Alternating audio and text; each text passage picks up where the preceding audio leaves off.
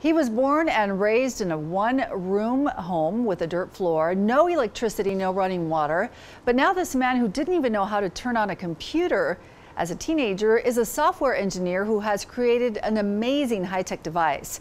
Tonight, Dan Rascon takes us inside the story of the Inside Coach or Smart Ball. This is a pretty amazing story of a man who overcame his humble beginnings to live the American dream. And that dream took on a whole new adventure when Nic San Juan started teaching his daughter to play soccer. 10 year old Abby has her own personal coach. There you go. Her dad, Nic San Juan.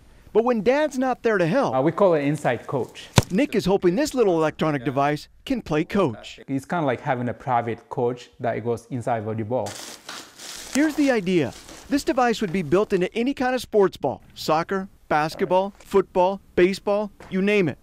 The athlete would then wear a wristband that would collect the sports data. So this will be the receiver that the player will wear and then it will send this data to your mobile device. That data would include how hard you kick the ball. When I spin it like this, you can see it going up. How much the ball is spinning. When uh, the ball has a lot of spin, it bends, so it confuses the goalkeeper. And other kinds of stats, like how long you're practicing and what kind of skills you need to improve on. And that's the fun part about this is that it visually tells you how well are you doing and then it motivates you.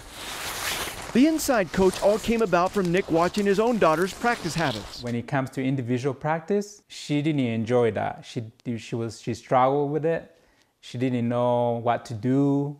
It wasn't fun for her. To think that Nic came up with this little high-tech machine is pretty amazing when you look at his beginnings. So I was born in Mexico, in Oaxaca. Nic grew up in a small farming community in Mexico in this one room log home. One room, uh, we were nine kids, so it was crowded. Dirt floor? Yeah, dirt floor. Dirt floors with no electricity and no running water. This little creek was where the family bathed. We survived in, in tortillas and beans when we had it. Nic came to America at the age of 15 to live with his brother in New York.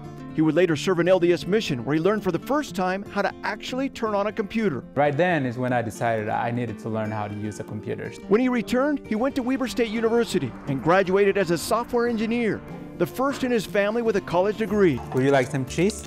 Nic is now a husband and father of two girls, working as a software engineer at a company in Draper.